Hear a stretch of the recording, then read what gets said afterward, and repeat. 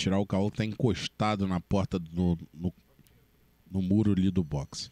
Vamos ao pulo de partida, vai ficando tudo pronto para o quinto páreo. Impaciência de Like a Champion.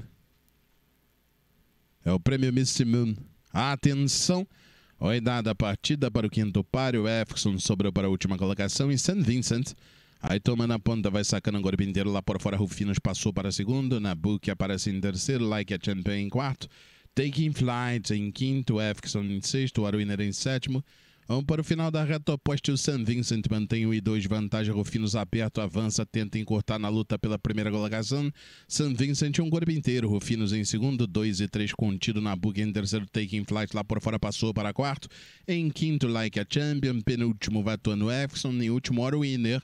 Os animais vão correndo na grande curva. O ponteiro St. Vincent mantém um corpo inteiro lá por fora. Rufinos tenta avançar em tentar a primeira colocação no final da grande curva St. Vincent por dentro, tem meio corpo de vantagem, o piloto sacou por debaixo dos braços, contorna a curva de chegada vai entrando pela reta final, St. Vincent é o ponteiro, mantém um corpo inteiro de vantagem, Rufinos avança para fora, vão pisando a seta dos 500 do vencedor do ponteiro, o St. Vincent, mantém um corpo inteiro, cara branca, Rufinos tenta avançar por fora, St. Vincent é o ponteiro a 400, o Rufinos avança por fora, St. Vincent mantém dois corpos de vantagem, Rufinos aparece em segundo na Book War Winner, vão brigando pela terceira colocação, o ponteiro é o St. Vincent, número 3 na manta, mantém 2 e 3 o Arwiner vem de pé embaixo para lutar pela segunda. Na ponta, St. Vincent, 2 e 3 de vantagem. Lá por dentro, Rufinos ainda em segundo. Vão se aproximando do disco.